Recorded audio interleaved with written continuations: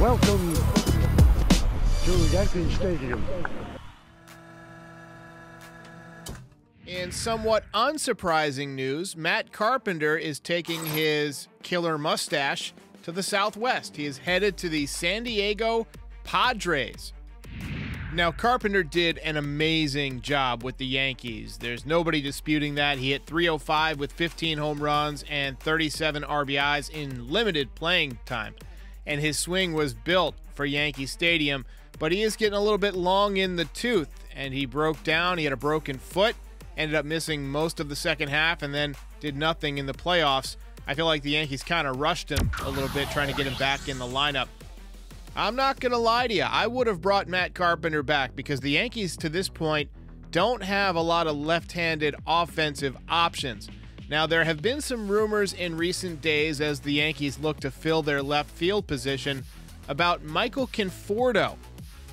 Now, these highlights that you're going to see from Michael Conforto are from 2021 because he missed the entire 2022 season but he is a left handed bat. He's played in New York, he's got some pretty good pop. His swing would play very well at Yankee Stadium. And the Yankees do need a left fielder. And one thing about Conforto is he might be willing to take a short term deal just to kind of prove that he's healthy and to have an opportunity to win. In 2021, he hit 232 with 14 home runs and 55 RBIs. Was not totally healthy during that season either, but he has had some very good power numbers in the past.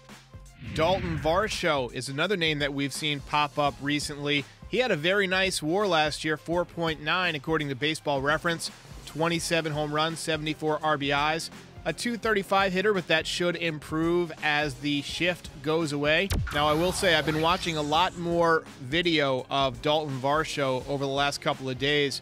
I really wasn't that familiar with him until his name started popping up as a rumored trade piece. But he's got a very nice swing. He's got legitimate power, and I do think he would put up some damage at Yankee Stadium. But knowing the way that Brian Cashman likes to avoid trading prospects, I think it's more likely they go for Conforto because it's just money, it's low risk, just one year. And you got Jasson Dominguez in the minors who could be just one or two years away at most. Some people think he might make the majors this year. I think it's probably going to be more like 2024, but he really could be the opening day left fielder or center fielder in 2024. So It'll be interesting to see what happens with the outfield situation. The Yankees definitely need to improve their offense. Jake McCarthy is another name that we've seen brought up from the Arizona Diamondbacks. He had a really good year last year, hit 283, eight home runs, 43 ribbies, a lot of speed, youthful, energetic player, 23 stolen bases, and he's also got a very good swing that really would play up in Yankee Stadium.